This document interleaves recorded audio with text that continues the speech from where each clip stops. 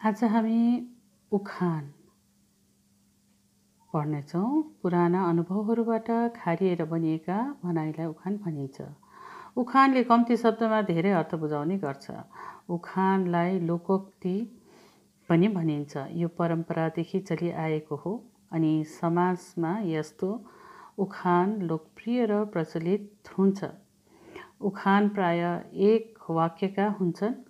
एकै वाक्यमा जीवनको अनुभव अर्थी र लोक प्रचलनका कुरा उखानले भन्दछ। सोझो भनाइ भन्दा उखानसित भने अर्थी उपदेश छिटो बुझ्ने गर्छ। जस्तै बाँदरको पुच्छ लौरो न हतियार केही काम नलाग्ने पाँच औँला बराबर हुँदैन नाच्न नजान्ने आँगन टेढो जो होचो सबैको मुखमा घोचो जसले मह काट्छ उसले हात चाट्छ अथवा काम गर्नेले केही न केही लिन्छ। बाँदरको हातमा नरिवल जे पाए पनि चाँडै बिगार्ने। है नमचिने पिङको सय झड्का धोबीको कुकुर घरको न घाटको। भुक्ने कुकुरले टोक्दैन। जुन गोरुको सिङ छैन त्यसैको नाम तिखे होइन? यसका उदाहरणहरू पनि यहाँ दिएको छ र यसका अर्थहरू पनि यहाँ दिएको छ जुन चाहिँ चाहिँ तपाईँहरूले यहाँ हेर्नु सक्नुहुन्छ। म सरर उखानहरू म पढेर सुनाउने छु। जस्तो बाटो उस्तै फल। जसको जौँ खानु उसैको जुङ्गा मोल्नु। जता मलको उतै ढल्को। घर साँडै वन बिरालो। गाई न गोठ लबर लबर ओठ। घाँस छोड्नु साथ नछोड्नु। गधा मलेर गाई हुँदैन। खाने मुखलाई जुङ्गाले छेक्दैन। खरानी घस्दैमा जोगी हुँदैन। कालो अक्षर भैँसी बराबर। कसैलाई खाना कसैलाई पाखा। सरी कसैलाई काख कसैलाई पाख। एक बिराउने साका पिराउने।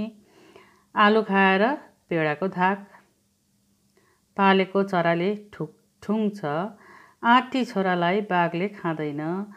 आ गर्दा अलङ्कार बुझिन्छ अर्थात् इसारामा काम गर्न सकिन्छ। अर्काको आस नित्य उपवास अचानकको पिर खुकुरीले जान्दैन अगुल्ठो पनि नठोसी बोल्दैन अकबरे सुनलाई कसी लाउनु पर्दैन अर्थात् यसको अर्थ हो असल कुराको जाँच गरिरहनु पर्दैन। त्यसरी नै अग्र सोचे सदा खुसी आफू भलो त जगत भलो इन्द्रका अगाडि स्वर्गका कुरा। उपिया फड्क्यो जुम्राको घान। एक हातले ताली बस्दैन औँला दिँदा डुडुलो निल्ने। कागभन्दा कोइली चङ्खो खाइ नपाई छालाको टोपी लाए घाँटी हेरी हाड निल्नु। जुन गोरुको सिङ छैन त्यसैको नाम तिखे। नमचिने पिङको सय झड्का नपत्याउने खोलाले बगाउँछ। भुक्ने कुकुरले टोक्दैन। भालुको मन खन्युमाथि मामाको घोडी मेरो हे हे। मेरो गुरुको गोरुको बाह्रै टक्का। पशुपतिको दर्शन सिद्राको व्यापार अथवा दुवैपट्टि नाफा हुने काम। रिसका आफू बुद्धिका अर्का। रिस गर्नाले काम बिग्रन्छ। सोझ औँलाले घिउ आउँदैन। सिधा भएर काम बनिँदैन। हुने बिरुवाको चिल्लो पात राम्रो हुनेको असल लक्षण। अर्थात् यहाँ जम्मा पचासवटा तपाईँहरूले के पढ देख्नुभयो? उखानहरू देख्नुभयो होइन त? र यी उखानका अर्थहरू पनि यहाँ दिएको छ।